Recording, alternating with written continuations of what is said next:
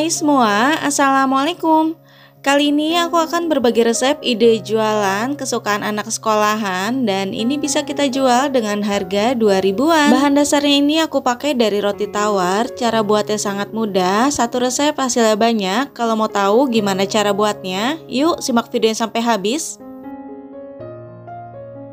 Yang pertama kita akan siapkan untuk toppingnya dulu Siapkan dua buah atau dua batang cabai merah keriting Lalu bisa kita iris tipis menyerong. Yang kurang suka pedas biji cabenya bisa kita buang ya bun Nah ini cabenya sudah terpotong semuanya. Cabenya bisa kita sisihkan terlebih dahulu. Untuk memotong semua bahannya Aku menggunakan Professional Knife Set IL163A dari Idea Life. Bahannya terbuat dari stainless steel Dan ini pisaunya sangat tajam. Kemudian bisa kita siapkan dua batang daun bawang. Ini daun bawangnya aku ambil bagian hijaunya aja atau bagian daunnya aja. Kemudian daun bawangnya bisa kita potong menyerong Kalau daun bawangnya sudah terpotong semuanya, daun bawang dan cabenya bisa kita sisihkan terlebih dahulu. Kemudian bisa kita siapkan satu bungkus roti tawar. Ini aku pakai yang tanpa kulit. Kemudian bisa kita potong menjadi empat bagian sama rata. Lalu ini roti tawarnya bisa kita tumpuk menjadi dua lapis seperti ini. Dalam satu bungkus roti tawar ini isinya ada sekitar 10 lembaran ya bun. Nah kalau roti tawarnya sudah terpotong semuanya, roti tawarnya bisa kita sisihkan terlebih dahulu. Selanjutnya bisa kita siapkan wadah, masukkan satu butir telur, kemudian tambahkan sedikit garam agar rasanya tidak hambar, kemudian telurnya ini bisa kita kocok lepas. Nah ini telurnya sudah terkocok sempurna, kemudian telurnya siap dijadikan sebagai olesan. Selanjutnya bisa kita siapkan 5 sendok makan mayonnaise untuk mereknya aku pakai merek Mamayo. Kemudian bisa kita tambahkan 1 sendok makan SKM atau susu kental manis. Lalu bisa kita aduk sampai semua bahannya tercampur merata.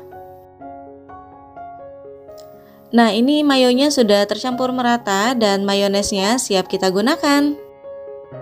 Ambil satu lembar roti tawar, kemudian bisa kita olesi dengan mayones rata ke semua permukaan rotinya.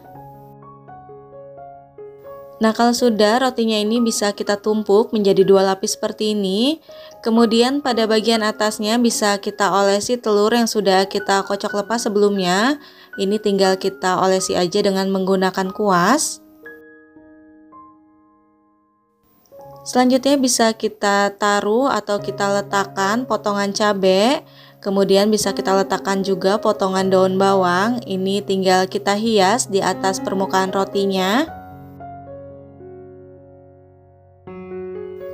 Nah ini sudah selesai kira-kira hasilnya seperti ini. Selanjutnya bisa kita panaskan teflon atau pemanggang Kemudian bisa kita olesi tipis dengan margarin. Ini rasanya agar lebih gurih. Kalau margarinnya sudah meleleh bisa kita letakkan roti yang sudah kita isi. Ini kita letakkan atau kita panggang secukupnya aja, jangan terlalu banyak agar matangnya merata. Kemudian bisa kita panggang sampai bagian bawahnya berwarna kecoklatan seperti ini. Nah, kalau sudah berwarna kecoklatan bisa kita balik dan kita panggang pada bagian atasnya.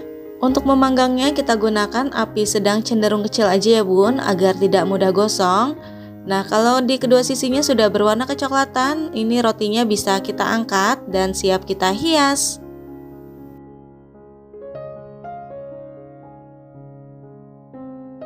Ambil satu buah roti panggang, ini bisa kita olesi dengan mayones rata di semua pinggiran rotinya. Kita olesi mayones ini agar rasanya lebih enak dan pada saat digulingkan di abon nanti abonnya menempel di sisi pinggiran rotinya. Nah kalau mayonya sudah terolesi semuanya, kemudian bisa kita siapkan sekitar 50 gram abon sapi Lalu bagian pinggirnya ini yang sudah kita olesi dengan mayones bisa kita gulingkan ke abon. Nah ini bisa kita sambil tekan-tekan ya agar abonnya menempel.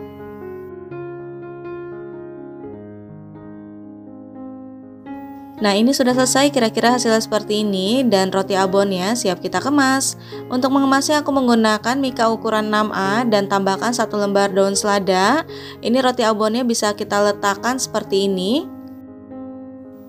Nah ini roti abonnya sudah selesai kita buat Untuk perkiraan modal dan estimasi harga jual Sudah aku tulis lengkap di bagian kolom deskripsi Tinggal bunda cek aja Nah ini roti abonnya mau aku coba Untuk rasanya ini enak banget Super gurih Dan ini rasanya hampir mirip seperti roti abon yang dijual di Holland Bakery Satu resep hasilnya 20 pieces Pokoknya wajib banget dicoba Semoga video ini bermanfaat dan dapat menginspirasi bunda-bunda di rumah untuk ide jualan murah meriah di kantin sekolah atau bisa kita titip di warung-warung. Selamat mencoba, sampai jumpa di next video. Terima kasih.